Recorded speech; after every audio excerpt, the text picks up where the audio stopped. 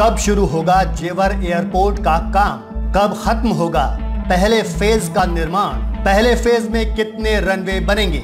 अक्टूबर 2020 के पहले बुधवार, यानी 7 तारीख को ग्रेटर नोएडा के जेवर एयरपोर्ट का काम शुरू करने पर मोहर लग गई। 7 अक्टूबर को यूपी सरकार और स्विस कंपनी ज्यूरिक एजी के बीच जेवर इंटरनेशनल एयरपोर्ट के फाइनल कंसेशन एग्रीमेंट पर दस्तखत कर दिए गए।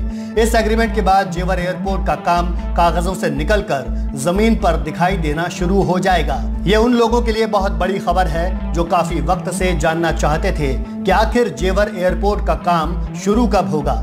एयरपोर्ट का निर्माण करने जा रही कंपनी के अधिकारियों का कहना है कि ग्रेटर नोएडा में जेवर इंटरनेशनल एयरपोर्ट का काम जून 2021 तक शुरू हो जाएगा।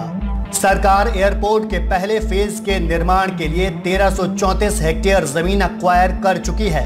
एयरपोर्ट के लिए काम की शुरुआत का वक्त तय होने के साथ ही नोएडा और ग्रेटर नोएडा के इलाके में बिज़नेस सेंटिमेंट को तगड़ा उछाल मिलना तय है। जेवर एयरपोर्ट सिर्फ़ पैसेंजर ट्रैफ़िक की वजह से महत्वपूर्ण नहीं है, बल्कि ये एक बड़े इंडस्ट्रियल, लॉजिस्टिकल और कार्गो हब के तौर पर उभरने जा रहा है।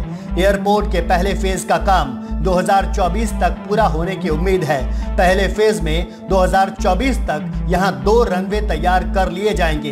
पहले फ़ेज़ में जेवर एयरपोर्ट की कैपेसिटी सालाना एक करोड़ बीस लाख पैसेंजर्स को हैंडल करने की होगी। नोएडा और greater Noida industrial development authorities इस पूरे इलाके में वेयर हाउसेज और बाकी लॉजिस्टिकल इंफ्रास्ट्रक्चर बनाने के लिए निजी निवेशकों को न्योता दे चुकी हैं, जिसे काफ़ी अच्छा रिस्पांस भी मिल रहा है।